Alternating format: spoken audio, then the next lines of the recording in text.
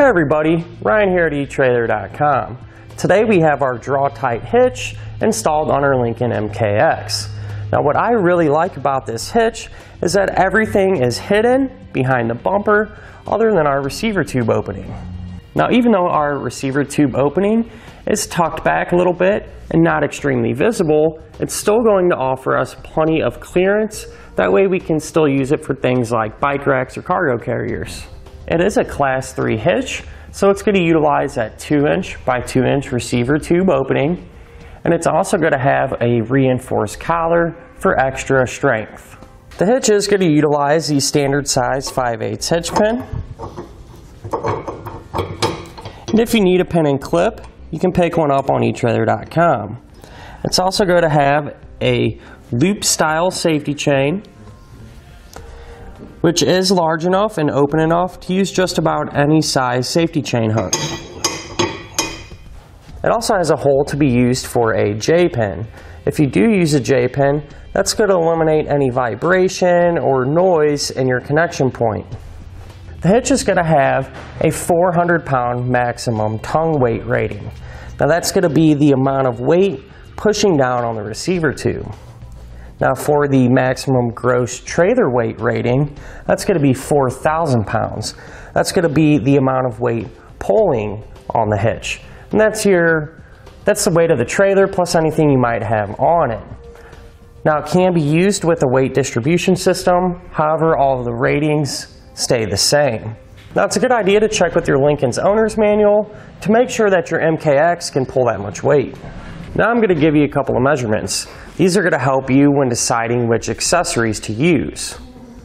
From the ground to the top inside edge of the receiver tube opening is about 13 and a half inches. Now you're going to use that measurement when deciding whether to get a rise or a drop for your ball mount.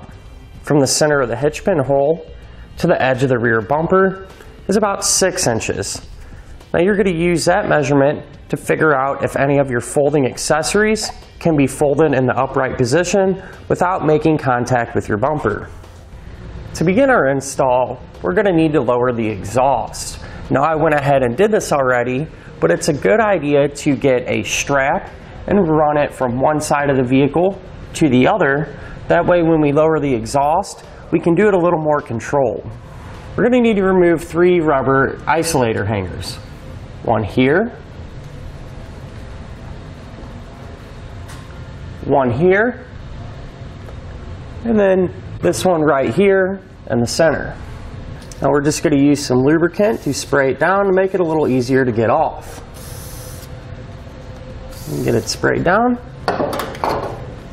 And we're just going to take a pry bar to pop it off. We're going to use that same procedure to remove the other two. Now I just want to point out on our heat shield, this hole right here in the frame, some of our hardware will actually come out through that hole. Well, the heat shield went straight across and partially blocked that hole. So I just use those tin snips and just cut out a little notch. That way it's free from obstruction. What we can do now is use our fish wire to put our hardware in the frame. Now we're going to be using this hole as well as this larger one right here. So what we're going to do is take the coiled end of our fish wire and actually feed it through this larger hole and it'll come out from the back of the frame behind the bumper. So you're going to kind of have to stick your hand up there and feel for it.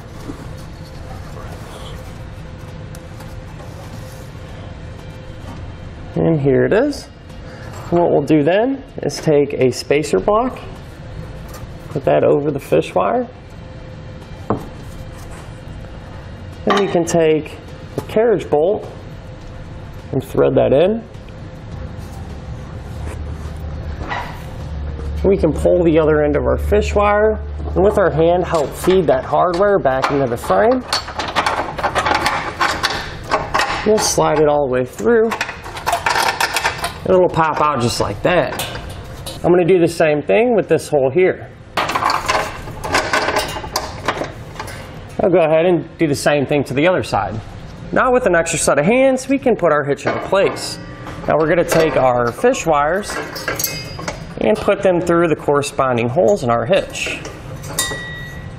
Now the hitch is actually going to sandwich the heat shield. And once we get all the bolts exposed, we're going to put on a conical tooth washer and just make sure that the teeth are facing the hitch. We'll take our nut and carefully get it threaded on. And we're going to get one nut started on each side. That way the hitch will hold itself in place while we finish the rest of the hardware. Now we can tighten all our hardware up.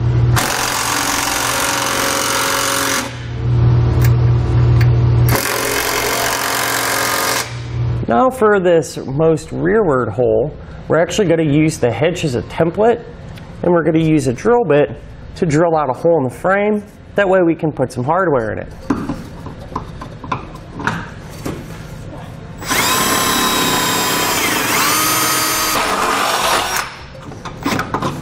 And keep in mind, the other side will be exactly the same. So anything we do to one side, we'll do to the other. Now we're going to use the same fish wire technique to install our hardware in the hole that we just drilled.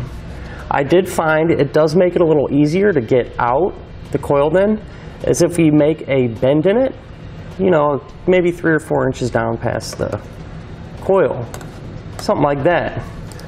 We'll push that in. pull it down. Once again, our spacer block goes on first. Then our carriage bolt. And thread into the coils.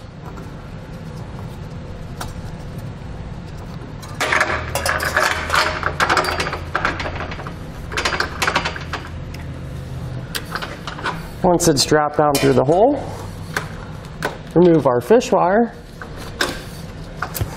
and put on our conical tooth washer and our nut. Now we'll go ahead and tighten it down.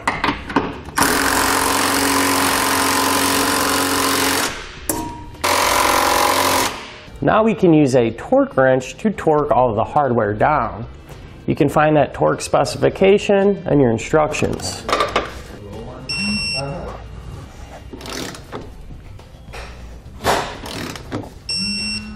Now that all of our hardware is torqued down, we can rehang our exhaust in the opposite way that we lowered it.